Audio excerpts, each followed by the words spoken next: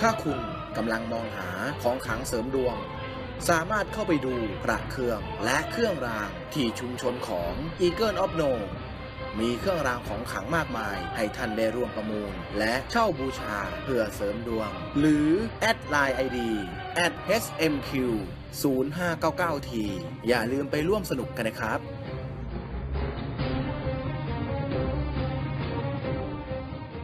พบกับพุทธคุณดี ของขังเด็ด เครื่องรางครบเซตกับ Eagle of No สวัสดีครับ พบกับ Eagle of No กันอีกครั้ง วันนี้เราจะนำเสนอเรื่องอะไรนั้นโปรดติดตามรับชมกันได้เลยครับ สุดยอดตำนานแห่งปาฏิหาริย์หลวงพ่อปี้วัดลานหอย พระอริยสงฆ์ผู้เปี่ยมด้วยอิทธิฤทธิ์ไม่เคยแม้หลับนอน รู้เหตุการณ์ล่วงหน้าอย่างน่าอัศจรรย์ อำเภอบ้านด่านลานหอย เป็นอำเภอที่มีที่ดินและป่าไม้มาก ในสมัยเมื่อหลายสิบปีมาแล้วราษฎรที่ทำมาหากินในท้องถิ่นนี้มีน้อย มีประชาชนอพยพมาจากจังหวัดอื่นๆ มากมาย มาทำมาหากิน มีกรรมการวัดหลายท่านเล่าว่า วันหนึ่ง มีผู้ชายคนหนึ่ง ซึ่งมาทำมาหากินในเขตหลวงพ่อ เมื่อผู้ชายคนนั้นได้พบหลวงพ่อแล้ว ก็ได้ร้องบอกว่าหลวงพ่อเคยไปบิณฑบาตทที่บ้านของเขาทุกวันจำได้อย่างแม่น พระเดชพระคุณหลวงพ่อไม่เคยออกบิณฑบาตเลย ในขณะที่ท่านย่างเข้าสู่วัยชรา เป็นไปได้อย่างไร เรื่องนี้หากได้ศึกษาประวัติพระบางรูปในอดีต จะทราบว่าเหตุการณ์อย่างนี้เป็นเรื่องธรรมดาสำหรับพระสงฆ์ที่สำเร็จในทางสมาธิวิปัสสนา เมื่อพระเดชพระคุณหลวงพ่อมรณภาพแล้ว กรรมการวัดได้มีโอกาสเข้าไปในกุฏิของท่าน ในห้องจะมีเพียง เสื่อผืนหมอนใบ เสื่อมีแต่ค่าฝุ่นเกาะไม่ปรากฏร่องรอย แห่งการนอน มีแต่ร่องรอยการนั่งเท่านั้น แสดงให้เห็นว่าหลวงพ่อท่านไม่ได้มีชีวิตเพื่อนอนเลย ทุกวันจะมีคนมากราบไหว้พระเดชพระคุณหลวงพ่อมากมาย จนแทบไม่มีเวลาพักผ่อน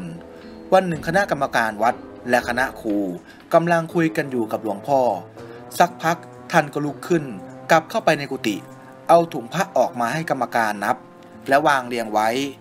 ประมาณครึ่งชั่วโมง มีรถทัศนาจร จากต่างจังหวัดในภาคอีสาน ผ่านอำเภอ บ้านลานหอย ได้แวะกราบนมัสการหลวงพ่อ และท่านได้แจกพระแก่ คณะทัศนาจร จำนวนพระพอดีกับที่ท่านบอกให้กรรมการนับไว้ เหตุการณ์เช่นนี้มักเกิดขึ้นเสมอ จนเป็นปกติวิสัย อันเป็นความเคยชินของกรรมการวัดลานหอย และถือเป็นเรื่องธรรมดาสำหรับพระเดชพระคุณหลวงพ่อ น้ำมนต์ยอดอภินิหาร วันหนึ่ง คณะกรรมการวัดได้นำน้ำใส่แท้งไว้ประมาณ 4-5 แท้ง เพื่อให้พระเดชพระคุณหลวงพ่อ เมตตา ปลุกเสกให้เพื่อเป็นสิริมงคล แก่ผู้นำไปใช้ ลูกศิษย์ท่านได้กราบนมัสการหลวงพ่อว่า คงไม่มีคนมาพอสายมากแล้ว หลวงพ่อตอบว่าใจเย็นๆโยม ต่อมาพระเดชพระคุณหลวงพ่อได้ลุกขึ้นไปนั่งปกแผ่เมตตาอยู่บนแทงน้ำเมื่อเสร็จพิธีประมาณหนึ่งชั่วโมง ไม่น่าเชื่อว่า ประชาชนได้หลั่งไหลเข้ามาในวันนั้น นับหมื่นคน เน้นไปหมด น้ำมนต์ที่ทำไว้หมดเกลี้ยง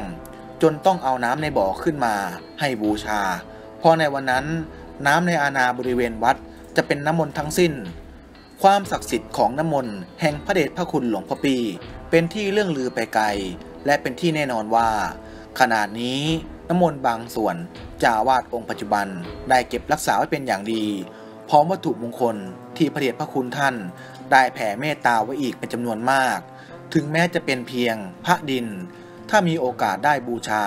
ควรบูชาติดตัวไว้เถิดนับว่าโชคดี ล้ำเลิศทางแคล้วคาด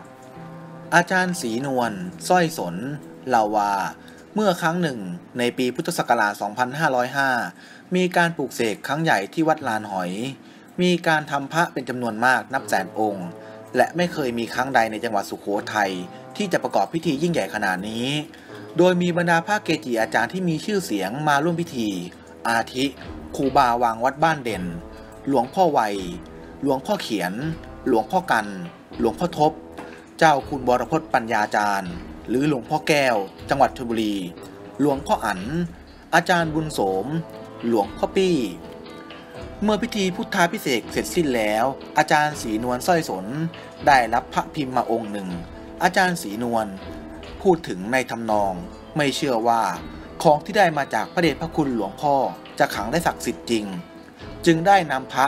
ที่ได้รับมาจากวัดไปมัดไว้กับกระด้งใบใหญ่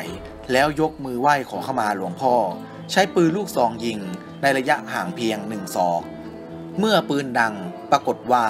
ไม่มีลูกปืนลูกซอง ลูกใดเลยที่ถูกกระด้ง เป็นที่น่าสะใจ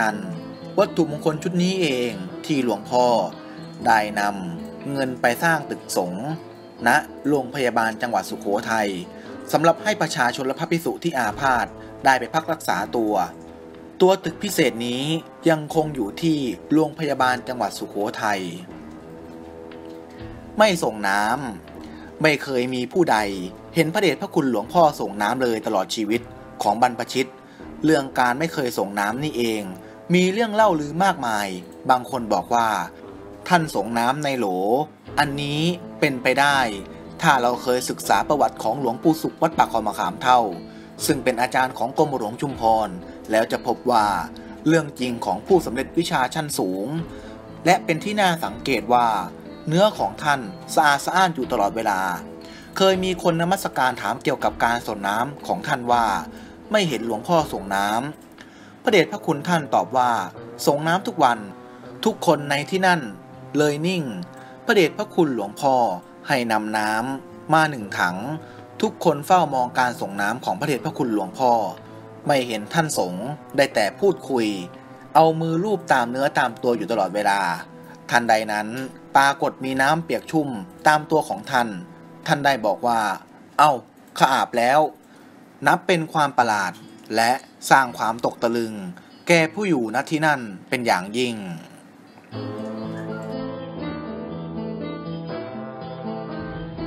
ก็จบกันไปแล้วนะครับสำหรับการนำเสนอในครั้งนี้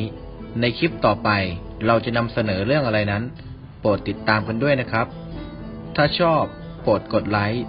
ถ้าถูกใจ โปรดกดแชร์ ถ้าไม่อยากพลาดคลิปใหม่ๆ โปรดกด Subscribe อย่าลืมกดกระดิ่งกันด้วยนะครับ เพื่อจะได้เป็นการแจ้งเตือนการอัปเดตคลิปมาใหม่